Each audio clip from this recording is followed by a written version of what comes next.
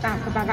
今天休息，明天再看看嘛。对，明天明天再看状况，那万一如果真的不行的话怎么办？就是不能打比赛。那不会觉得很可惜吗？会啊，会蛮可惜的，就是练习蛮久了。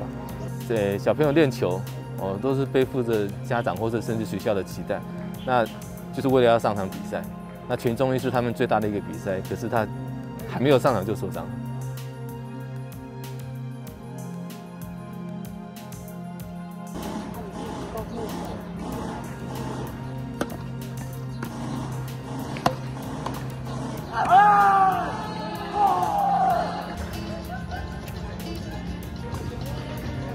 大师报告。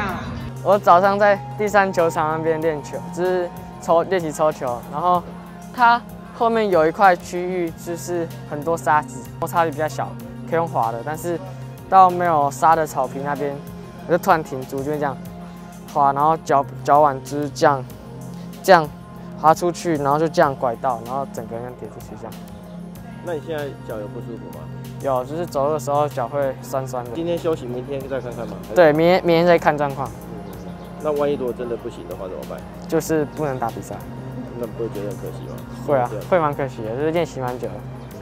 哦我发现到这个主办方非常不用心哦，因为他在比赛前一天我们还看到照片，第四面场地居然还没有做好。是啊，其实我们呃小朋友练球，哦，都是背负着家长或者甚至学校的期待，那就是为了要上场比赛。那全中医是他们最大的一个比赛，可是他还没有上场就受伤。对，所以今天就是等于是就是不能上场比赛。连教练都表示他们在学生时期当都没有遇到过像这样的。那这个 草地感觉很临时，就是铺了一层草，就准备要比赛的感觉。针对我们中竹东中正网球场的部分哈，那我们场地的后续处理方式就是，呃，因为这一次我们选手呃扭伤的部分哈，最主要的问题还是在铺沙不足的部分哈。那我们这边也要求呃竹东政工所还有我们的竹东跟政工所的呃包商，还有我们的监造建筑师哈，在比赛完后一定要一定要去留下来，把场地做好铺沙的动作。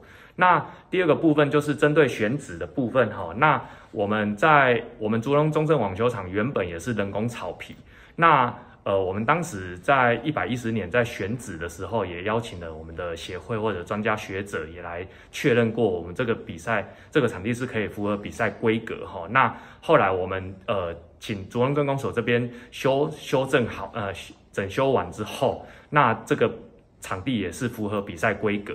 那针对我们受伤的选手部分哈，那后续我们在选手当下受伤，我们也是请我们现场的医护组的医生还有护理师先做紧急的处理。那后来我们也是呃也陪同送医，然后慰问。那后来送医也确定是无大碍，就是也没有骨骨头的问题。那我们这边也请我们的医护组的组长，也是我们校长哈，也是呃陪同我们的。我们的呃受伤的选手哈，一起载载他到比赛场地以及我们的休息地点哈，那后续我们都会做好一个完整的措施。